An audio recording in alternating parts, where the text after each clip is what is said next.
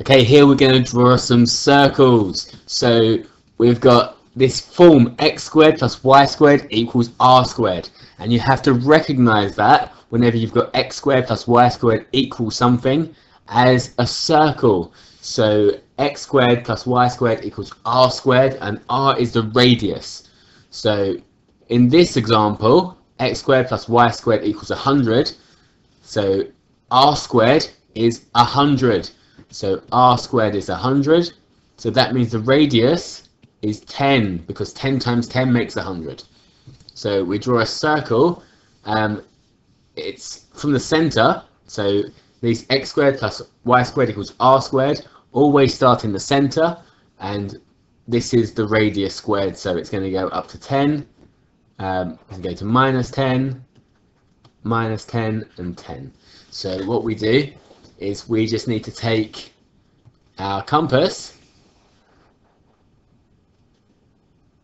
and we'll just go around.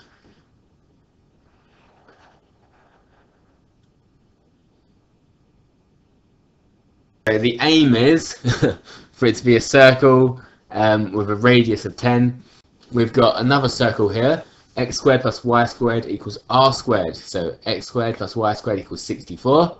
That just means the radius is 8 because 8 squared is 64. So we're going to have a circle, center 0, and it's going to go through 8, minus 8, 8, 8, and minus 8. It's going to be 8 away on every side. We're going to try and draw a circle, although it, it might miss. So we extend this out to 8 and we're just going to go around.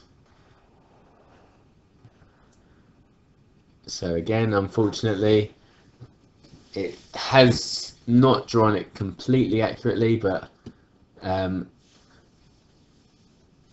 you get the point. So it should go through 8 and minus 8. Um, there's obviously something a bit wrong here. And finally, we've got x squared plus y squared equals 144. So in this case, the radius is going to be 12 because 12 squared is 144. So it's going to go through 12, 12, minus 12, and minus 12. So we'll try it again, although unfortunately it will miss. Um, so we'll extend that out to 12.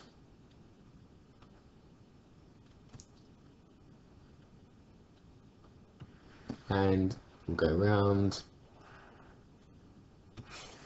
And again, it should have gone through 12 and minus 12 here, but um, these obviously aren't actual squares. So unfortunately we've missed slightly, but the point is that it should go through 12, minus 12, minus 12 and 12.